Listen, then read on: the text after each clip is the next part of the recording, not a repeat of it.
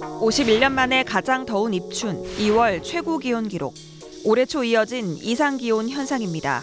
지난달 전국 평균 기온은 평년보다 2.9도 높아 51년 만에 가장 더운 입춘을 맞이했습니다. 중부지방 곳곳으로는 역대 최고 기온을 경신했습니다. 남동풍이 강하게 불어들며 남쪽으로부터 고온다습한 공기가 다량 유입되었던 겨울철이었습니다.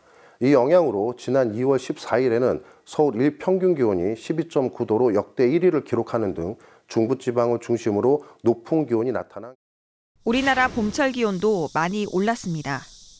요즘에 관측한 이제 분석 결과를 보면 한 51년 동안 3월에는 한 2.6도, 4월에는 0.8도, 5월은 한 1.4도 올랐어요. 그래서 아무래도 기온 상승에 지구 온난화에 좀 영향이 있었을 거라고 좀 생각하고 있습니다. 현재 남인도양과 북서태평양 해수면 온도는 평년보다 높은 상태입니다.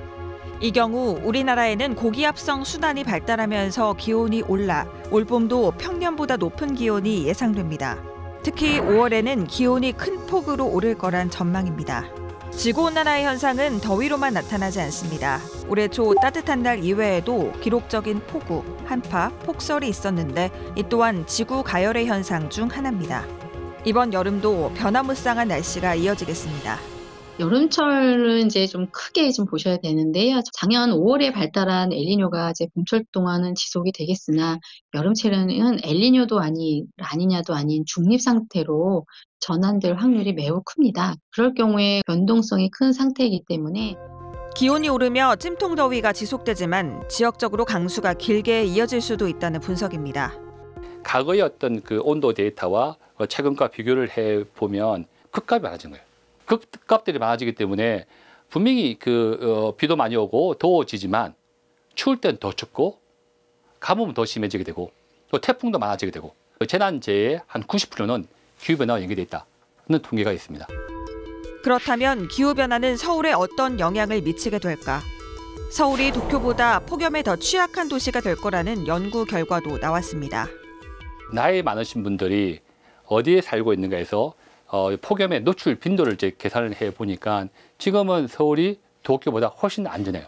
어, 미래의 어떤 서울의 모습은 열로 인해서 문제되는 어떤 집단, 노인이나 아니면 살고 있는 거주 환경이 20배나 더 증가하는 거예요. 그 미래의 어떤 서울 모습은 아마 도쿄보다 훨씬 더 살기 어려울 것이다. 최고 기온 상승과 인구의 급격한 고령화가 맞물려 서울의 여름철 사망자 수는 약 20에서 80%까지 증가할 수도 있다는 설명입니다. 전국에서 여름철 온열 질환자와 사망자가 가장 많이 발생하는 도시 서울. 도시화로 인한 녹지 면적 감소 또한 서울 시민의 건강을 위협하는 요소 중 하나입니다. 지금부터 이에 대비해야 한다는 지적이 나옵니다. 그 취약계층은 우리가 어떻게 돌볼 것이냐 는 생각해야 되는데 또 그것뿐만 아니라 살다 보게 되면 집에 있을 수 없잖아요. 어때요? 여러분 들 서울에 볼 때 시원한 공간이 별로 없죠. 또 어디가 시원합니까? 녹지예요. 강이에요. 어떻게 도시의 자리를 만들어줄 것이냐에 대한 고민도 해야 기후변화를 향한 고속도로 길목에 진입한 지금 시간은 더 이상 우리 편이 아닙니다. TBS 곽자연입니다.